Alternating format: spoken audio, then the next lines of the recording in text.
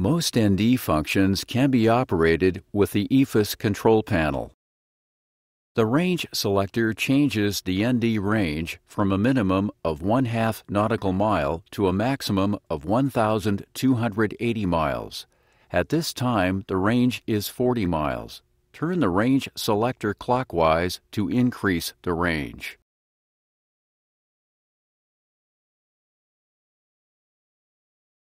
At 10 miles range and higher, each position multiplies the range by 2. When you turn the selector counterclockwise, each position divides the range by 2.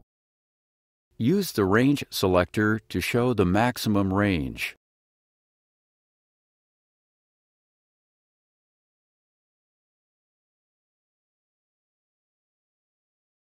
Below 10 mile range, the range selector shows ranges of 1 half, 1, 2, and 5 miles. When the airplane is on or close to the origin or destination airport, an airport map is shown. We'll talk about the airport map in a different part of the lesson. This map is shown in expanded mode. More of the flight plan route is in view in front of the airplane. The center switch changes the map between expanded and centered modes. Push the center switch.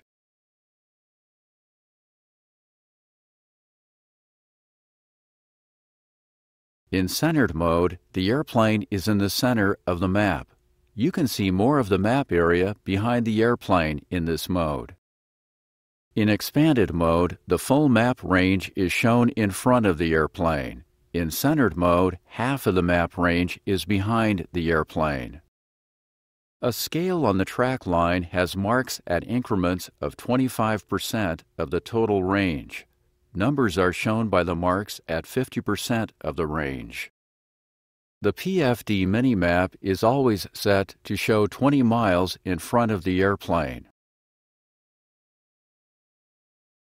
The weather radar, traffic, and terrain map switches let you show weather radar, TCAS, or terrain data on the ND and the minimap.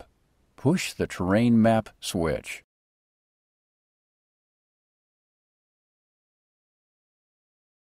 Range arcs are shown when a map switch is selected and the ND is in expanded mode.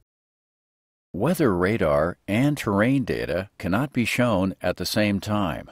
Push the Weather Radar Map switch. Weather radar returns replace the terrain data. Now push the Traffic Map switch. A TCAS range ring with a 3 mile radius shows around the airplane symbol when the map range is 80 or less. These map indications and a number of other data items can also be controlled from the ND drop-down menu. You select the menu keys with the ND Mode selector and Mode Select switch.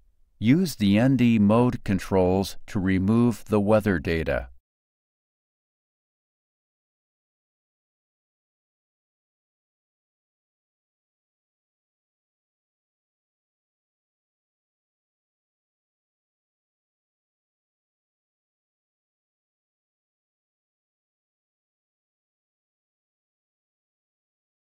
You can use the ND Mode selector and Mode Select switch to control all of the items in the drop-down menu.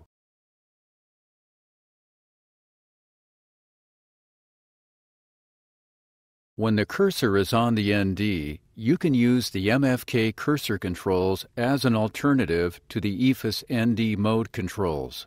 Use the MFK to show the VSD.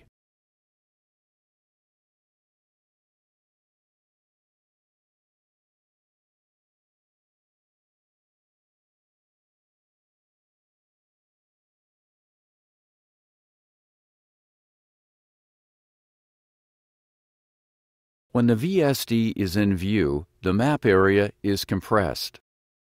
You can also use the CCD to move the cursor and control the ND keys. Remove the VSD.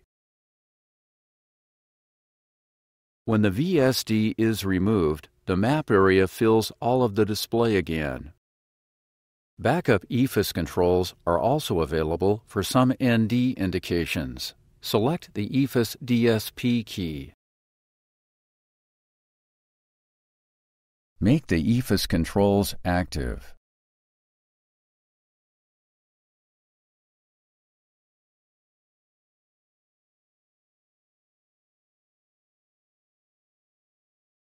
Keys are shown for range, map mode, and weather, traffic, and terrain data.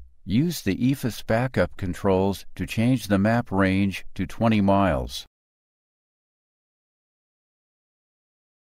When the backup EFIS controls are selected, the EFIS control panel cannot be used.